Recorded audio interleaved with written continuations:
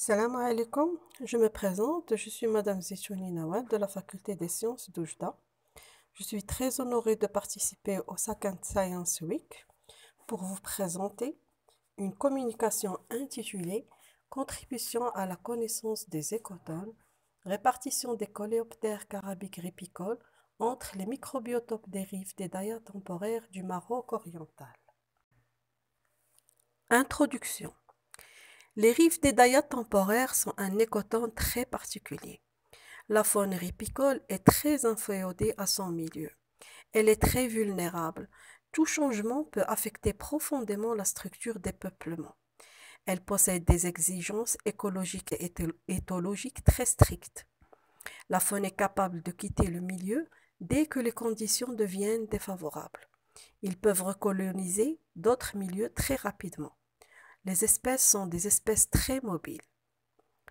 Le milieu physique, représenté par les rives, est un milieu humide et riche en matière organique.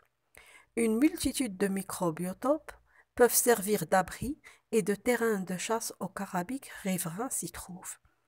On trouve le sable grossier, certains carabiques lévites, d'autres sont indifférents à la granulométrie, on trouve la, zone pierreuse qui peut abriter plusieurs espèces qui creusent des terriers. On a aussi des débris végétaux, des déjections animales et des fissures de dessiccation qui influencent directement sur la faune, qui peut être considérablement modifiée par leur présence. L'objectif de cette étude est de mettre en évidence les préférences écologiques des carapiques ripicoles. Nous avons comparé entre les deux zones les plus importantes des rives, la zone limoneuse et la zone pierreuse. Matériel et méthode. Le lieu étudié. Donc, le lieu étudié, ce sont deux dayas du Maroc oriental de la zone d'Oujda qui possèdent la même situation géographique, des caractéristiques physico-chimiques similaires, une eau douce et neutre, et deux microbiotopes dominants, une zone limoneuse et une zone pierreuse. La méthode d'étude consiste à prélever les coléoptères caraboïdés, carabiques, des rives humides des plans d'eau, chaque deux jours, durant trois campagnes de prélèvement. Les prélèvements se font depuis la mise en eau jusqu'à l'assèchement total du milieu. Nous avons effectué une chasse à vue durant une heure sous les pierres et débris et dans les fentes de retrait. Résultat. Nos prélèvements sur les rives de ces deux dayas nous a donné un total de 432 individus. Ils appartiennent à 35 espèces de carabiques.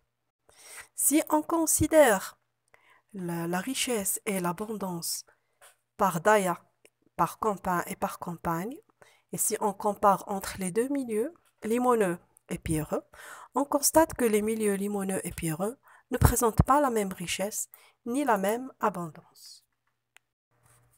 En effet, la zone pierreuse montre une dominance du point de vue de l'abondance, de la richesse et de la densité.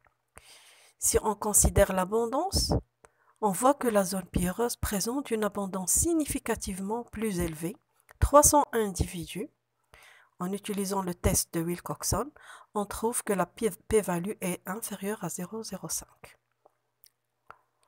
La richesse. Plus de 91% des espèces, soit 32 taxons, ont été trouvées dans la zone pierreuse, avec une richesse significativement plus élevée que la zone limoneuse. Donc, toujours avec le même test, test de Wilcoxon, la p-value est inférieure à 0,05. Si on considère du point de vue de la densité, on constate que la densité moyenne dans la zone pierreuse est de, de 1,46 individus par mètre carré, soit plus du double de celle enregistrée dans le substrat limoneux, où on a enregistré 0,6 individus par mètre carré. Ceci est valable pour toutes les dayas, c'est-à-dire les deux dayas, T1 et T2, et pour toutes les campagnes de prélèvement, la campagne 1, 2 et la campagne 3. En comparant entre l'abondance moyenne d'une même espèce dans la zone limoneuse et dans la zone pierreuse, on constate qu'il y a 11 espèces qui dominent dans la zone pierreuse. Les plus importantes sont Bambidion ambiguum avec 44 individus, Orthomus lacourie 39 individus, Arpalus distinguendus 38 individus. Deux espèces dominent dans la zone limoneuse seulement. Il s'agit de Tachys bistriatus avec 10 individus et Bambidion maculatum avec 6 individus. Il nous reste trois espèces qui sont indifférentes vis-à-vis de, ceux des milieux.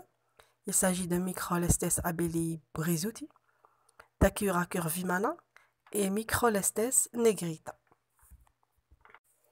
Si on reprend les mêmes comparaisons, c'est-à-dire entre le milieu limoneux et pierreux, l'abondance et la richesse des caraboïdes.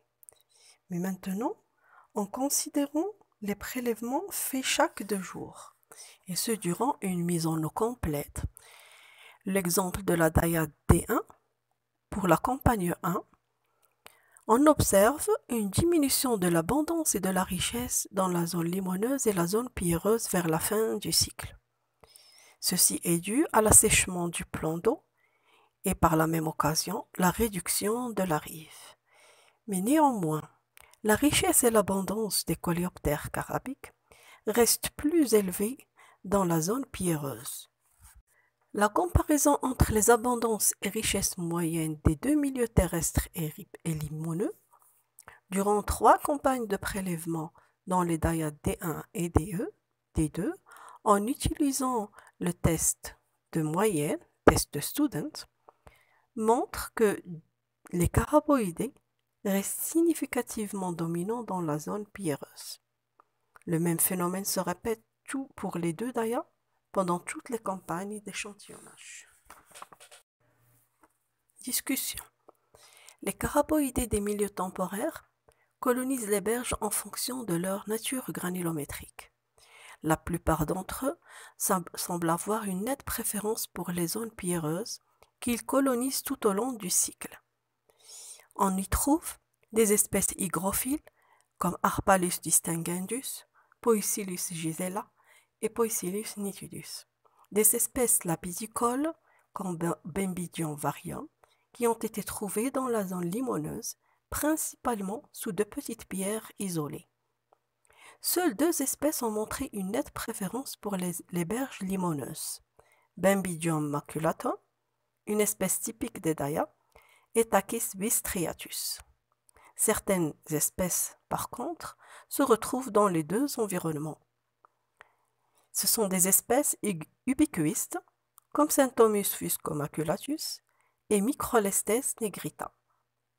Ça peut être aussi des espèces ripicoles pélophiles, comme Bembidion vicina, mais qui se retrouvent également dans la zone pierreuse lorsque l'humidité ne persiste qu'à ce niveau. Conclusion. Les berges des milieux temporaires sont connues pour être un lieu de halte pour les espèces ripicoles lors de leur migration d'un plan d'eau permanent à un autre. Ces espèces recherchent un biotope similaire à leur biotope d'origine, d'où leur préférence pour la zone pierreuse, qui fournit une humidité adéquate pour ces espèces, la plupart étant des ripicoles strictes. Elle, est très riche en proies, la majorité des espèces étant carnassières, elle leur offre également un abri contre le vent.